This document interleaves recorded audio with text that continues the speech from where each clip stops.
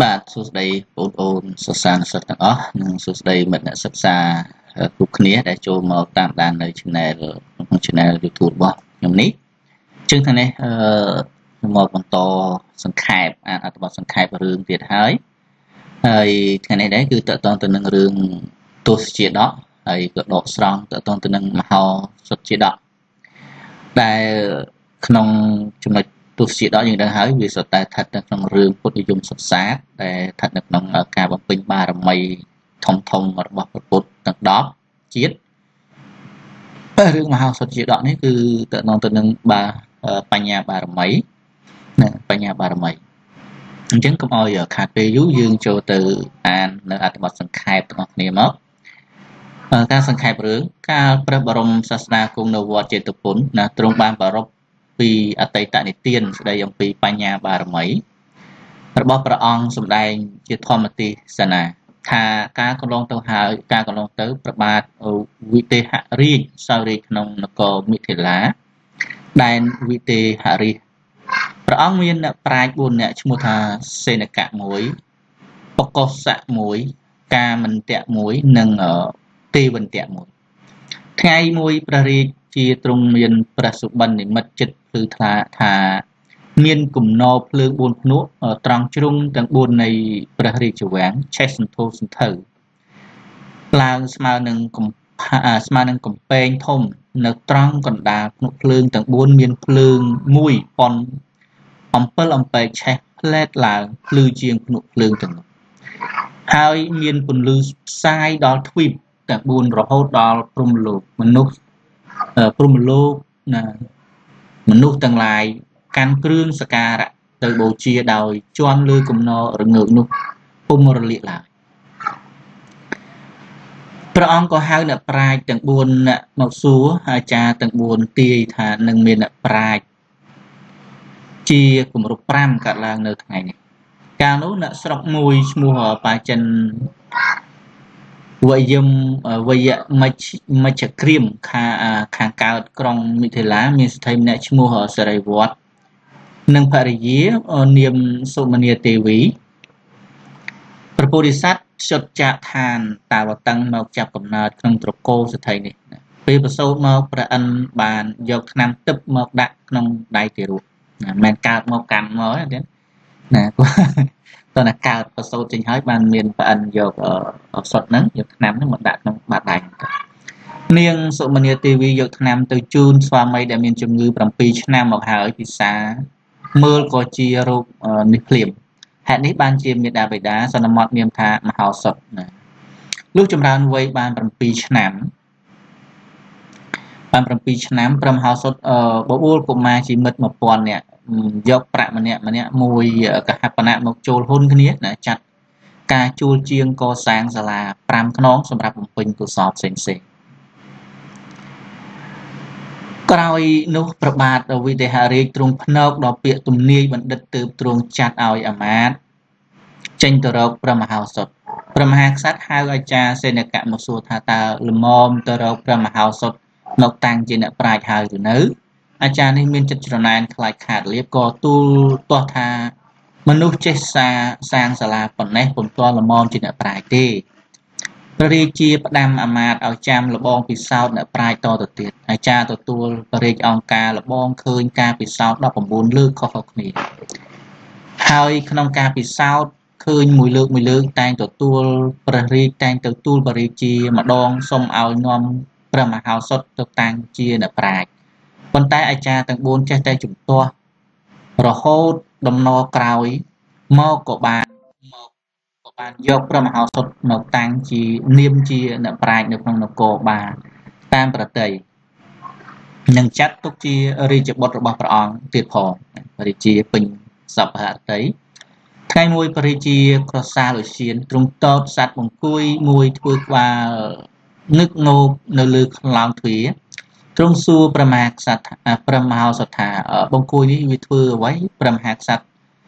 អឺព្រះមហោសថតបថាវាគោរពព្រះអង្គព្រះរាជាទ្រង់សព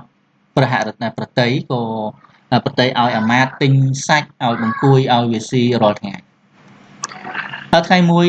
ជាថ្ងៃសិលអាមាតបានទៅស្វែងរកទិញសាច់មិនបានក៏យកប្រាក់ដែលមានតម្លៃស្មើតម្លៃសាច់ទៅចងនឹងកសัตว์បង្គួយ ជំនួសសាច់បង្គួយមានអលង្ការពាក់ក៏ក្រអឺតលែងគោរពស្ដេចបរិជាក៏ឆ្ងល់ទ្រង់សួរព្រះមហោសថ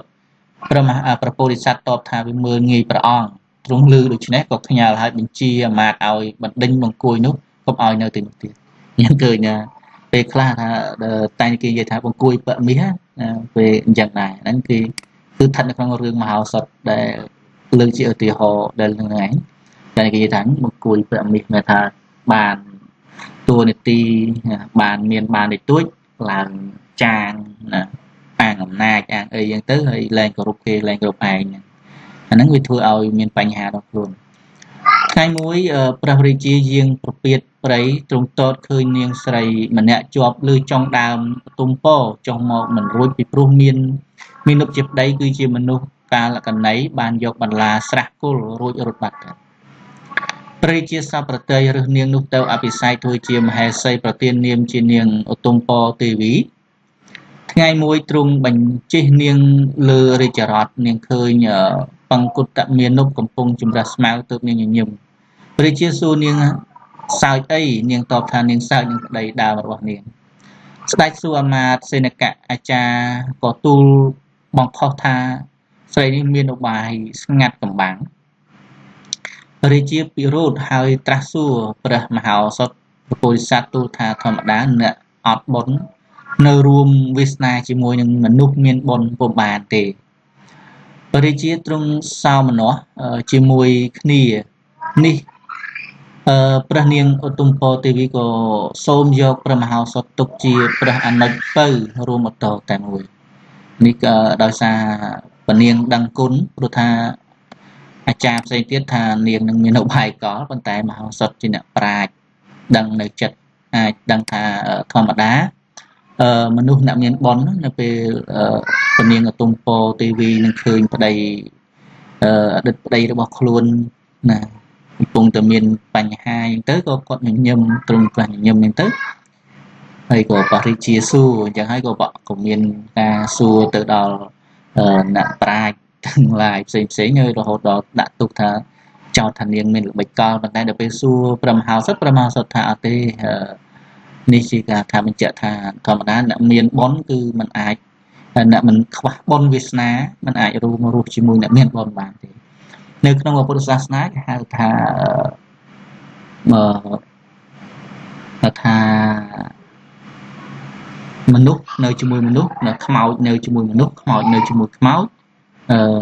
មនុស្សនៅជាមួយទេវតាទេវតានៅជាមួយទេវតាអានឹងពាក្យបាលីខ្ញុំភ្លេចដែរប៉ុន្តែនេះគាត់ថាមនុស្សខ្មោចនៅជាមួយមនុស្សនិយាយថាអឺពេលខ្លះប្តីអត់ចេះអត់មានអីទេអត់ខំធ្វើទៀនខំធ្វើអីខំប្រឹងតែផឹកសូរាផឹកអីយ៉ាងទៅឬក៏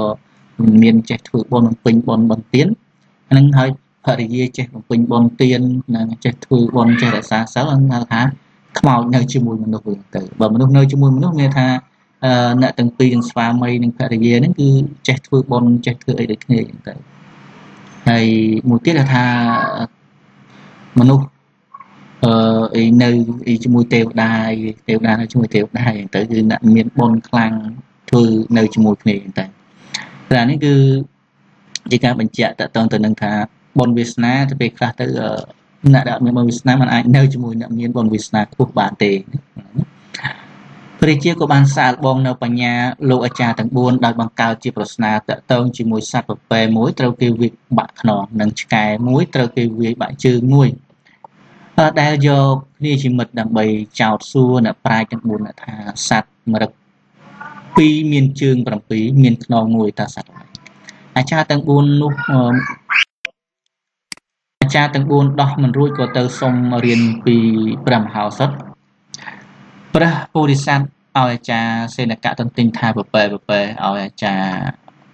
ការមិនតបំពេញថាបន្ទិញថាឆ្កែឆ្កែឲ្យអាចារ្យទេវន្តទិញថាទាំងពីរថាសម្លាញ់នឹងគ្នាឲ្យអាចារ្យបកុសៈទន្ទិញថាទាំងពីរស៊ីស្មៅផងស៊ីសាច់ផងដោយពុំយល់សេចក្តីលុះព្រឹក ស្អែកឡើងអឺព្រះរាជាទ្រង់សម្ដាប់ចម្លើយរបស់អាចារ្យទាំង4មិនដឹងសេចក្តីថាដូចម្ដេចហើយទ្រង់ក៏សួរព្រះមហោសថវិញព្រះមហោសថក៏ទូលព្រះអង្គតាមដំណើររឿងប្រពែនឹងឆ្ងាយនេះបន្ទាប់មកទ្រង់តាំងអ្នកទាំង5ជាអ្នកប្រាជ្ញក្នុងនគរនាងឧត្តមពោទេវីទូលទាស់ថាអាចារ្យទាំង4នេះ ទៅរៀនដោះប្រស្នាពីព្រះមហោសថទេដែលមិនអាចឲ្យមានឋានៈស្មើនឹងព្រះមហោសថពុំសមឡើយណា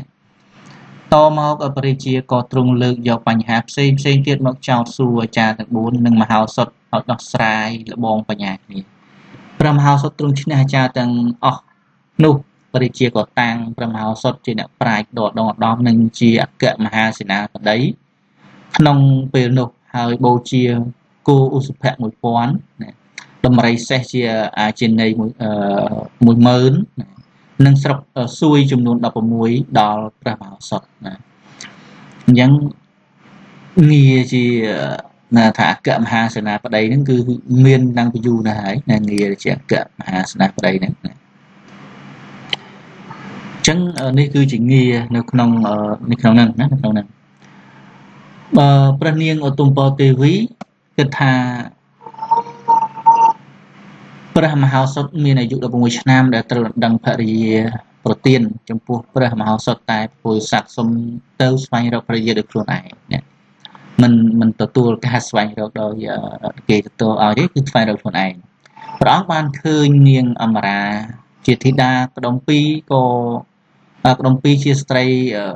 បញ្ចពិតកល្យាណីក៏សួរប្រស្នាជ្រាបថាជាស្រីមានបញ្ញាក៏ចូលស្ដីដណ្ដឹងមកធ្វើជាភរិយាដោយក្តីប្រាថ្នា នៅក្នុងហ្នឹងគឺមានចម្រៀងណាដែលតើតើទៅនឹងប្រស្នារបស់ប្រវត្តិមហោសថជាមួយនឹងនាងអមរាហ្នឹងប្រស្នាបេះផ្លែប្រស្នាអីហ្នឹងណាគឺតើតើទៅមានចម្រៀងគេច្រៀងដែរបងជាមហោសថរាជបុត្រក្សត្រាអូនជាអមរាកូនមហាសេដ្ឋីហ្នឹងសាកល្បងលេងលបែងឯណាណៃណាហ្នឹងតើតើចម្រៀងណា អឺមហោសថគឺជាកូនសេដ្ឋីទេប៉ុន្តែដោយបរិជាទទួលធ្វើជាអឺបតណាយ៉ាងហើយក៏ក្នុងចម្រៀងហ្នឹងថាបងជាមហោសថរាជបុត្រសត្រាងទៅណាចំពោះពួកអាចារ្យទាំង4នាក់នេះវិញចេះតែរកបាយកោផ្សេងផ្សេងដើម្បីព្យាបាលព្រះមហោសថឥតឈប់ឈរឡើយប៉ុន្តែដោយព្រះពោធិសត្វនិងនាងអមរាមានបញ្ញាប៉ុនគ្នាក៏ចេះតែបានដោះប្រសានឹងអបាយកអបាយគ្រប់បែបយ៉ាង របស់អាចារ្យទាំង4រួចខ្លួនបានសុខសួស្តីរៀងមកបញ្ជាក់មួយទៀតគឺអឺតួអង្គមហោសថគឺជាពុរិស័ទយ៉ាងអមរាគឺជាកំសៃសារពេចសម្រាប់ជាអ្នកបំពេញតាមបំពេញបារមីជាមួយនឹងព្រះពុរិស័ទហ្នឹងឯងហើយចំពោះអឺនាមជាកន្សៃសារពេចនេះគឺតមកតាំងពីជាតិបន្ទាប់ពីអឺ សមិទ្ធតបោះដែលបានទៅយកខ្លួនធ្វើជាជាផ្លូវលំសម្រាប់ឲ្យព្រះពុទ្ធទីបាំងកទ្រង់ឈៀងឈានដើរឆ្លងភក់នឹងឯងនៅពេលដែលព្រះអង្គពុទ្ធទីបាំងកនិមន្តយាងទៅអឺកន្លែងនិគមមួយហើយក៏ត្រូវមានភ្លៀងហើយក៏ត្រូវឲ្យគេរៀបចំមុននឹងព្រះអង្គយាងទៅណាគឺមានការរៀបចំទីផ្លូវឲ្យមានការសភាពស្រួលដែរហើយអឺ សមិទ្ធតបោះហ្នឹងក៏សុំមកកន្លែងគេធ្វើផ្លូវហើយដល់ថ្ងៃដែលពុទ្ធទីបាងកូនយាងទៅហ្នឹងធ្វើមិនរួចក៏ខ្លួនយកយកខ្លួនធ្វើជាដេកលូនដើម្បីឲ្យពុទ្ធទីបាងកូនហ្នឹងយាងជន់ចម្លងខុហើយនៅពេលដែលពុទ្ធទីបាងកូននឹងបនឹងបរិស័ទដែលជាភិក្ខុប្រខៃណាស្របទាំងអស់នឹងយាងអឺដើរផុតទៅក៏ពុទ្ធទីបាងកបានព្យាករថាតបោះអ្នកដែលកំពុងតែ លូនធ្វើជាគ្រឿងចម្លងនេះណា4អសង្ខ័យនិងអសែនកាទៀតគឺនឹងបានត្រាស់ដឹងជាប្រពុតមួយអង្គព្រាមថាសមណៈគោដងពេលនោះឯងក៏មានស្ត្រីម្នាក់មកសុំស្នើខ្លួនធ្វើជាកន្សែងសារពេជ្រជួយបំពេញបុណ្យបារមីដល់ពពុរិស័ទអញ្ចឹងហើយចាប់ពីពេលហ្នឹងមកកាលណាបើពពុរិស័ទនឹងអ្នកជួបនឹងភរិយាគឺភរិយាគឺជាកន្សែងសារពេជ្រតាមបំពេញបុណ្យបារមីរបស់ ទ្រង់តាំងពីនឹងមកឯងហើយចំពោះពពុទ្ធដែលបានដែលនឹងធ្វើ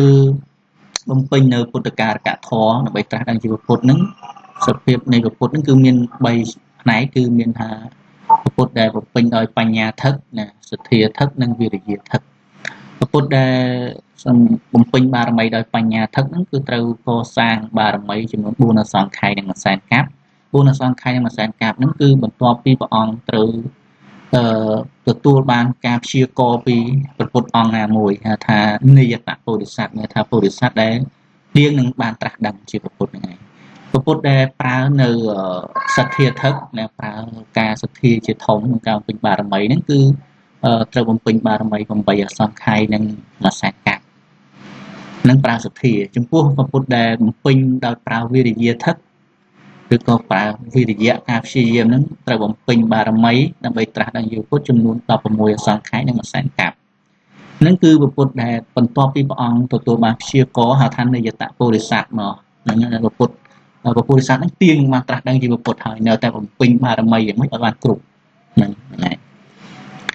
នេះគឺក៏ជាការសង្កេតសេចក្តីឲ្យបានដឹងពីតតងនឹងចំណុចបន្តិចព្រះមហោសថមានទូនីតិជាអគ្គមហេសីអគ្គ ជាអគ្គមហាសេនាបតីព្រះពោធិសត្វមានសេចក្តីព្យាយាមរៀបចំនគរឲ្យបានចម្រើនផងទៀត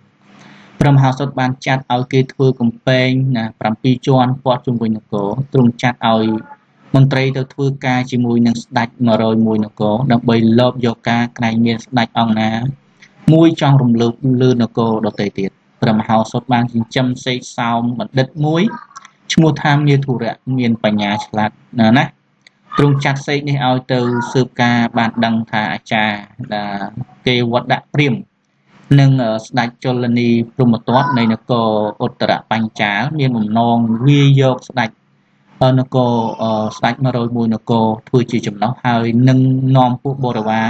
ទៅចាប់ប្របាទវិទេហរាជនៃនគរមិថិលាប៉ុន្តែផែនការនេះត្រូវបរាជ័យណាស្ដេចជលនីបែរជាផ្ញើសារសូមជួបព្រះមហោសថដើម្បី សួរដេញដោលធរអគ្នាវិញព្រះមហោសថក៏យល់ព្រមហើយនាំពួកសេនាចំណិត1000នាក់ទៅកាន់ធម្មយុទ្ធមណ្ឌលណានេះធម្មយុទ្ធមានការការប្រកួតដោយប្រើជជែកវិញ្ញាណទៅនឹងប្រាជ្ញាព្រះពុទ្ធសាសដឹងថាអាចារ្យទេវត្តព្រាមចង់ឲ្យខ្លួនសំពះដើម្បីប្រកាសថាចោះចាញ់ក៏ក៏ទ្រង់ធ្វើឲ្យកែវមณีណារត់ទៅ ក៏ទ្រង់ធ្វើឲ្យកែវមនីរតទៅអាចារ្យនេះអាចារ្យគេគេវត្តព្រាមបានអោនមកទទួលកែវក៏ត្រូវព្រះមហោសថសង្កត់ក៏រុញវក់វីរុះមុខនឹងផែនដីចេញឈាមរហាមចំណែកព្រះចលនីត្រូវពួកព្រះមហោសថជុំអាវុធភ័យរត់ខ្ចាត់ខ្ចាយអស់ព្រះមហោសថបានចាត់ឲ្យព្រាមម្នាក់ឈ្មោះថាអនុគេវដៈ អនុទេវតព្រាមរៀនពីមុនសម្ងាត់ទៅធ្វើកលបញ្ឆោតពួកពលសេនារបស់ព្រះបាទជលនីព្រមទត្តឲ្យបសញ្ញាព្រះមហោសថរួចទូលទាស់ថាពួកនេះមានចិត្តក្បត់នឹងព្រះអង្គអនុគេវតព្រាមបាននាំព្រះបាទជលនីលបជិះសេះរត់ទាំងយប់ទៅប្រោះចោលក្នុងព្រៃស្ងាត់ហើយវិលមកនគរមិថិលាវិញ ក្រោយនោះអាចារ្យគេវត្តព្រាមរកបាយកលសម្រាប់ប្របាទវេទិហរាជអឺនិងព្រះមហោសថក៏ណែនាំប្របាទជលនីឲ្យធ្វើជាធ្វើសារថានឹងថ្វាយព្រះនាងបញ្ចាចន្ទី ជារាជបុត្រីថ្វាយដល់ព្រះបាទវេទិហរាជព្រះមហោសថដឹងឧបាយនេះតាមសេកសើបការបានពីនាងសារិកាប្រពុរិស័ទបាន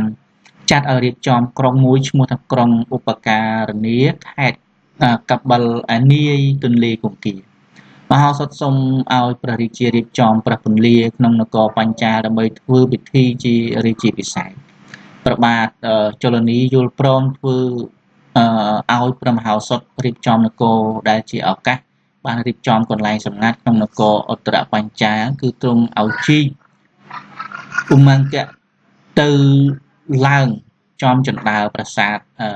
ស្ដេចជលនីដែលធ្វើការយ៉ាងសម្ងាត់អស់រយៈ4ខែព្រះមហោសថក៏សូមទូលប្របាទវិទ្យារាជយាងមកចាំនៅបរិយាបុរីឧបការៈចិត្តពន្លេគង្គីជាមួយនឹងអាចារ្យ4នាក់ក្នុងគណៈនេះព្រះបាទជលនីនឹកថាមានឱកាសកាត់ព្រះសូរងព្រះបាទវិទ្យារាជនិងព្រះមហោសថទើបលើកតបចេញពីនគរទៅឡោមព័ទ្ធក្រុងឧបការៈនោះ ជាការនេះល្អពួកសេនារបស់ព្រះមហោសុតដែលបន្លំពួនក្នុងឧមង្គក៏ងើបឡើង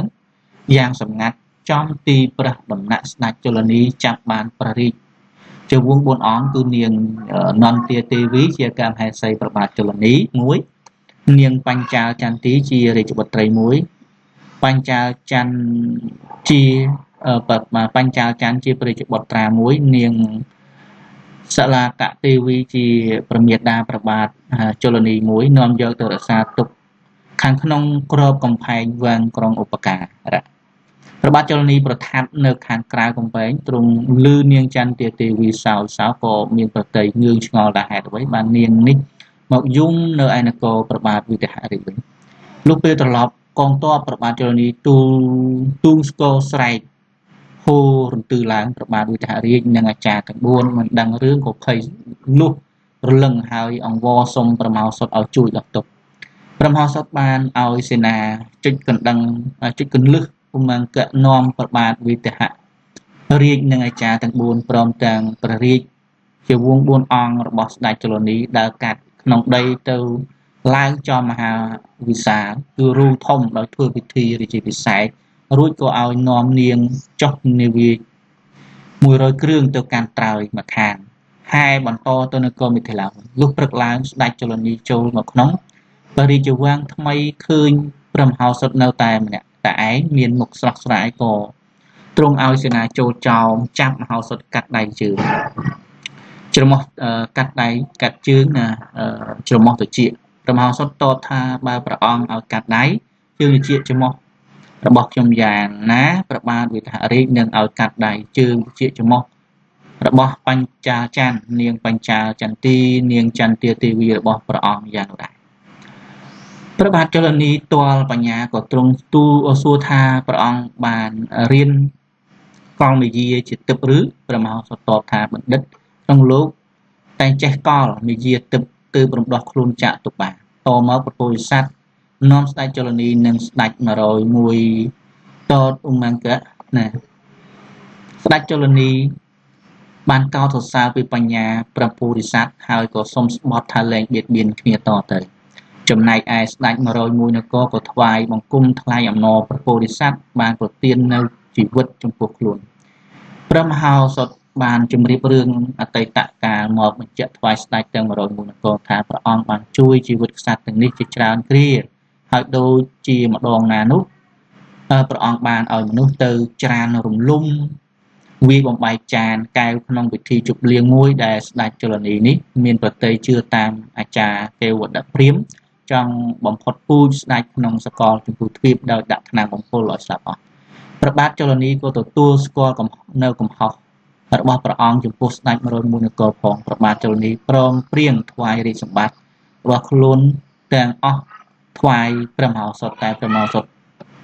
តែព្រះពោធិសត្វប្រកែកតមកក្សត្រទាំងអស់ទ្រង់ប្រទានរង្វាន់ចំពោះព្រះមហោសថរួចដង្ហែព្រះអង្គចូលនគរមិថិលាវិញព្រះនាងបញ្ចាលចន្ទីនៅរួមជាមួយព្រះបាទវិទេហរាជបានរាជបុត្រមួយ ការព្រះរាជបុត្រព្រះនាមតិខេណកុមារមានបជន10ឆ្នាំព្រះរាជកុមារក៏សគុតព្រមហោសុតតាំងព្រះរាជកុមារឲ្យស្នងរាជបិតាហើយក៏ សុំលាទៅគង់នៅនគរឧត្តរបញ្ចាក្រោមការទំនុកបំរុងរបស់ព្រះអង្គបានដោះប្រស្នាជាសញ្ញាជាមួយនាងប្រពាជាការនាមភេរីក៏ទើបត្រូវនាងនន្ទាទេវីមានគំនុំស្រាប់នាំដំណើរនេះ ទៅទូលបង្ខុសចំពោះព្រះស្វាមីក្រោយព្រះរាជាសួរដឹងទើបទ្រង់ថាព្រះមហោសថនឹង នាងភេរីធ្វើសញ្ញាលបងប្រាជ្ញាគ្នាល្អជាទេព្រះអង្គក៏ប្រោះប្រទានឋានៈប្រពោធិសត្វជាអគ្គសនាអគ្គមហាសេនាបតីនាងភេរីក៏បានពិសោធន៍សួរបរិជាអំពីទឹកប្រតីដែលព្រះអង្គស្រឡាញ់ព្រះមហោសថដោយស្មោះត្រង់មែនព្រះបាទ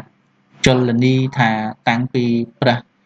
មហោសថបណ្ឌិតមកកាន់ទីនេះលោកបានធ្វើប្រយោជន៍ជាច្រើនដល់នគរបើសិនខ្ញុំស្លាប់ទៅមុនក៏ព្រះមហោសថ ញ៉ាំងកូនចៅខ្ញុំទាំងឡាយឲ្យមានសេចក្តីសុខដែរព្រះមហោសថស្គាល់នៅប្រយោជន៍គ្រប់ប្រភេទទាំងបច្ចុប្បន្ននិងអនាគតស្ដេចចលនីសុខចិត្តយកជីវិតក្រុមគ្រួសាររួមនឹងជីវិតព្រះអង្គផងសរុបទាំងចំនួន6នាក់ទៅថ្វាយអរិយទឹកតាមការគម្រាមកំហែងតែដាច់ខាតមិនឲ្យអរិយទឹកយកជីវិតព្រះមហោសថទេព្រោះមហោសថជានិមិត្តរូបនៃសន្តិភាពក្នុងពិភពលោកទាំងមូល អញ្ចឹងក្នុងនេះគឺចង់បង្ហាញតទៅទៅនឹងអឺបញ្ញាដែលព្រះមហោសថគឺជាអ្នកបំពេញនៅ បារមីមួយហៅថាបញ្ញាបារមីជាអ្នកមានប្រាជ្ញាខ្លាំងមែនទែននៅពេលជាតិជាមហោសថហ្នឹងអញ្ចឹងបើបងប្អូនសិស្សានុសិស្សទាំងអស់អឺបានស្ដាប់ទៅទៅនឹងរបៀបរបបនេះពេលខ្លះយើងស្ដាប់ការសង្ខេបអត្ថបទអត់អត់ជល់ប្រហែលទេអញ្ចឹងបើយើងចង់ដឹងពេញ យើងទៅអានរឿងពេញណានៅក្នុងរឿងមហោសុខជាដកហ្នឹងទៅគឺប្រកាសជាបានយល់ច្រើនជាងនេះណាអញ្ចឹងសូមអរគុណណាសូមជម្រាបលា